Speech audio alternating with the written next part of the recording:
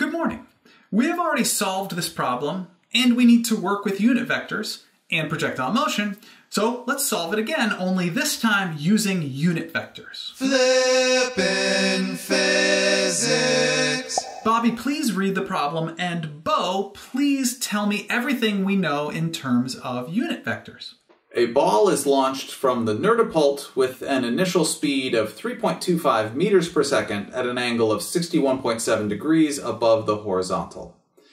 If the basket is 93 centimeters from the ball horizontally, where should the basket be placed vertically relative to the ball so the ball lands in the basket? What am I doing? You are giving me everything we know in terms of unit vectors. I do not know how to do that. Okay, I'll get us started with the initial and final positions. Because these positions are in multiple dimensions at once, we use the symbol r instead of x, y, or z. So the initial position, or r naught, is, well, we get to choose we get to choose that. So let's choose 0i plus 0j as the initial position of the ball. The ball starts at 0. The final position, posi the final position, which is our final, equals 93 centimeters in the x direction, which we know is 0.93 meters in the x direction, or 0.93 times unit vector i. The final position in the y direction is the unknown we are solving for, so let's substitute in an unknown variable y, or y times unit vector j.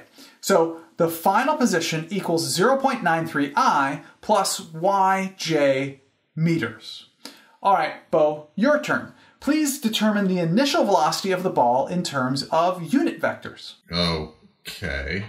Uh, well, the initial velocity given in the problem is in terms of magnitude and direction. So we are going to need the x and y direction components of it. Okay, I think I know. I think I know how to do this. The initial velocity, or v naught, equals the x component of the initial velocity times i plus the y component of the initial velocity times j. The x component of the initial velocity equals, well, because theta is with the horizontal, it equals initial velocity times cosine theta. The y component of the initial velocity equals initial velocity times sine theta. Initial velocity is 3.25 meters per second, and theta is 61.7 degrees.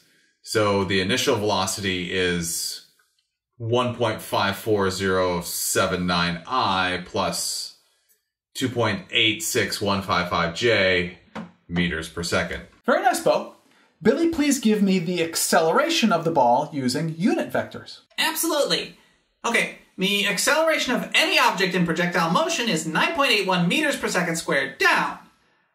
Objects in projectile motion have no acceleration in the x direction, so uh, 0 times unit vector i plus, well, negative 9.81 times unit vector j meters per second squared. Thank you, Billy. Now, we know the acceleration of the ball is constant, so we can use the uniformly accelerated motion equations. Let's use position final equals position initial plus initial velocity times time plus 1 half acceleration times time squared. Notice we can substitute the unit vector versions we just determined of final position, initial position, initial velocity, and acceleration. And we can remove the zeros and multiply through by time and time squared. Bobby, please isolate all of the x direction terms and see what we can accomplish with that. Sure. Uh, isolating all of the terms which have a unit vector i in them gives us 0.93 equals 1.54079 times time. Oh, okay, we can solve for time. Uh, time equals 0.93 divided by 1.54079 or 0.60 uh, seconds. Thanks, Bobby. Can you actually do the same thing with the y direction? Yeah, isolating all the terms which have unit vector j in them gives us y equals 2.86155 time minus 4.905 time squared. And we just figured out the time, so substitute that in and we get um, uh, negative 0.059975 meters, or, well, well, that is negative 6.0 centimeters. In other words, the basket needs to be placed 6.0 centimeters below the original height of the ball, just like we got last time. Yep, the, the physics still works. Cool. Uh huh. Uh huh. Very nice, Bobby. Now, notice how by using unit vectors, we are able to combine everything we know in this problem into one equation. In the long run, that can be very useful. Thank you very much for learning with me today. I enjoyed learning with you.